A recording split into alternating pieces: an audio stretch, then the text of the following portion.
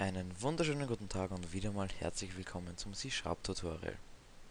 Ich werde mit euch heute noch einige Grundlagen mehr oder weniger der Konsole besprechen.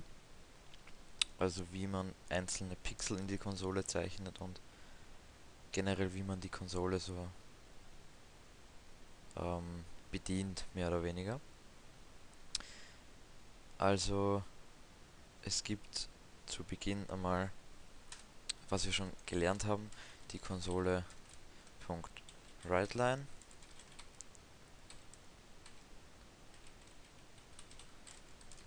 und die Konsole .readLine Methode. Die Konsole .WriteLine gibt etwas aus, die Konsole .readLine liest etwas ein. Visual Studio hängt sich wieder auf. Genau.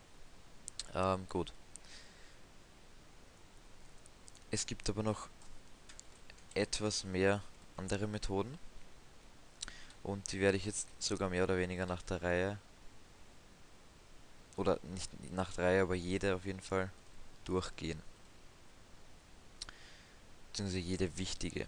Also, wir hatten hier Konsole.WriteLine. Dann gibt es noch Konsole.write. Das macht dasselbe wie die Konsole.WriteLine.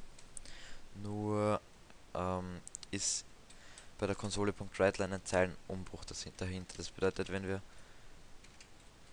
jetzt da Konsole.write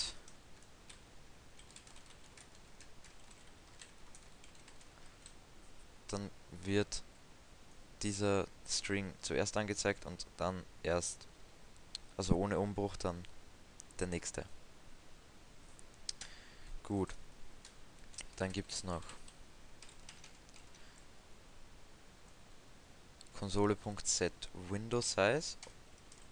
Da können wir. Ich bin mir gerade nicht sicher, welche Reihenfolge das war. Ja, okay, so geht's auf jeden Fall. Ähm, es gibt eine maximale Dimensionsgröße. Moment. Ich glaube, das waren 80 und 120, wenn ich mich nicht irre.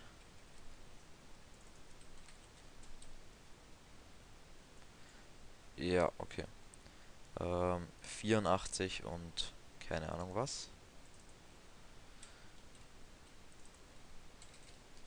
Das werden wir gleich rausfinden. 240, na knapp daneben. Also das wäre jetzt die maximale Konsolengröße. Also ziemlich Fullscreen. Und man hat aber diese Scrollbar daneben, die ziemlich nervt. Und die bekommt man weg, indem man ich mache es jetzt mal etwas kleiner.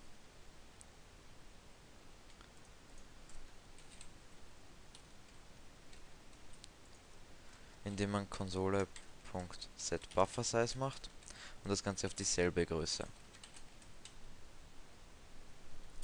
Das bedeutet, man hat jetzt den Buffer, also dass die, jedes Zeichen, was angezeigt werden kann, ist genauso groß wie das Fenster. Das bedeutet, man hat das ganze Fenster ohne eine Scrollbar zur Verfügung sozusagen. Gut. Das macht man am besten noch vorher. Vor dem Code. Konsole.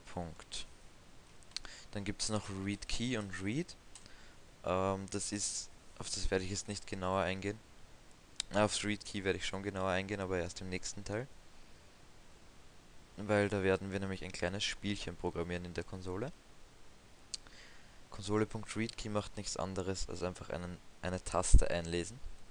Also zum Beispiel jetzt die Cursor-Tasten oder irgendwelche Buchstaben. Und Konsole.read ähm, liest ein Zeichen aus der Konsole.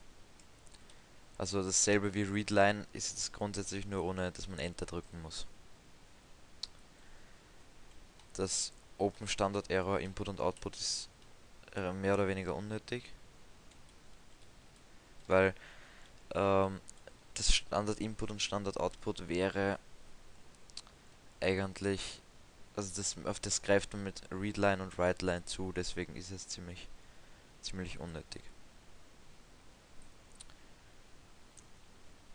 Gut, ähm, was noch wichtig ist, ist Foreground Color und Background Color.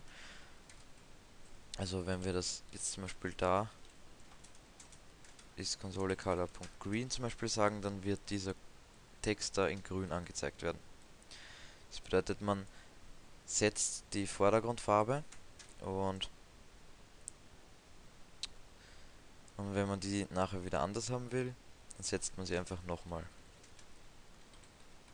Konsole, Vordergrundcolor ist gleich Punkt Blue zum Beispiel. Dann wird der eine Teil in grün und der andere in super lesbarem Blau angezeigt. Ja. Konsole. Punkt. Was gibt es noch so? Punkt Clear löscht einfach alles, was in der Konsole momentan steht. Das heißt, jetzt kriegen wir keine, keine Ausgabe. Und etwas, das noch sehr wichtig ist, ist vor allem dann bei dem Spielchen, was wir schreiben werden, ist Punkt Set Cursor Position. Da kann man ähm, auf einen gewissen Pixel in der Konsole einen, ein Zeichen malen sozusagen. Also wenn wir jetzt sagen äh, 10 und 5 und dann Konsole Punkt Write ähm, eine Raute zum Beispiel, dann wird das ungefähr da angezeigt werden. Ähm, dann gibt es noch was mehr oder weniger Wichtiges. Und zwar Punkt Konsole Punkt Punkt Cursor Visible ist gleich entweder True oder False, das ist ein booleanscher Wert. Wenn man den auf False setzt, dann sieht man den Cursor nicht. Also dieses, diesen blinkenden Unterstrich, was ziemlich nützlich ist, eben auch für Spieleprogrammierung. Ja, im Grunde genommen für unsere Zwecke, denke ich mal, war es das eigentlich mit der Konsole. Ähm, Konsole.backgroundcolor funktioniert genauso wie Konsole.foregroundcolor. Ich kann es auch mal herzeigen. Konsole.backgroundcolor ist gleich Konsolecolor.yellow zum Beispiel. Dann hätten wir da blau auf gelb. Und um die Farbe wieder zurückzusetzen, nimmt man Konsole Reset Color dann wird die Farbe zurückgesetzt und diese Raute da würde dann wieder in weiß auf schwarz gedruckt werden. Ja gut, jetzt ist es glaube ich alles, was man zumindest momentan so alles wissen muss. Und wir sehen uns dann, wenn wir unser Konsolenspiel entwickeln. Auf Wiederschauen.